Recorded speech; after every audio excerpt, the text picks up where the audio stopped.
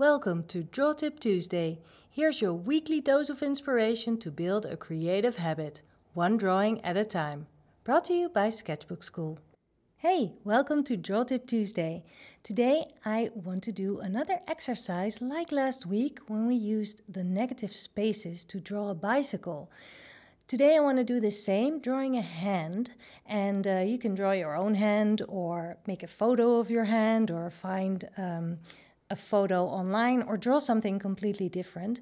I just want to go over it again, drawing those negative spaces to find the proportions again. And uh, you can just use a pen and maybe add some watercolors afterwards. That's what I will be doing. I just start at the corner where the index finger and the middle finger meet and I see sort of a triangle shape of a negative shape so I will start drawing that and from there I will find the outline of the hand.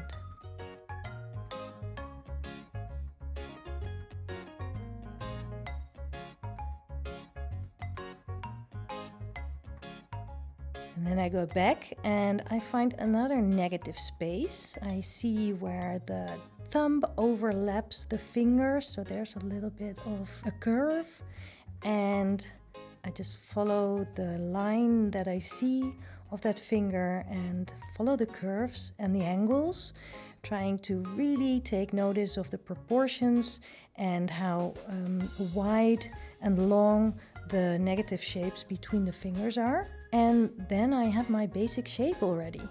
Now all I need to do is sort of fill in the gaps, the, the blanks, so to say. And um, I start at the thumb because that's that curve over there and I can follow that. And I have a reference point, which is the knuckle. So that knuckle is my reference point to know where to put my line and where to stop the line that I see. And by looking at reference points and also looking at the negative shapes within the hand, like the hand palm, it's a negative sh shape as well, that's below the thumb. That way I can uh, just go on and uh, fill in the blanks. I'll add some wrinkles that I see and I guess now I'm ready to add a little bit of color because the color will give some extra depth because that will be like the shadows and the shading that I see in the, in the skin.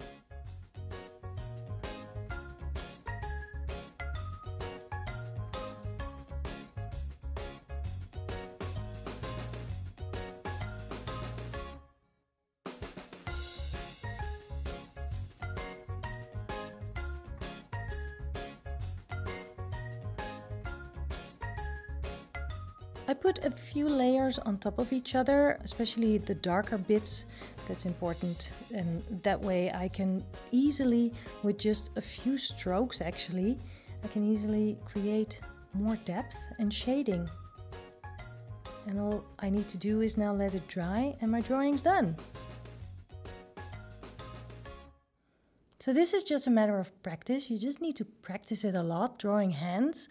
And um, you have your hands always with you, so there's no excuse not to every now and then just pick up your pen and draw your hand. Make it challenging for yourself by, you know, giving it a weird perspective or holding your hand in a very complicated way. So you have to work with complicated shapes. And um, by challenging yourself and practicing a lot, you will get better very, very quick. So I hope you will give this a try. And if you haven't already, sign up for this channel because I don't want you to miss out on my Draw Tip Tuesdays. And then I'll see you next week. Bye now.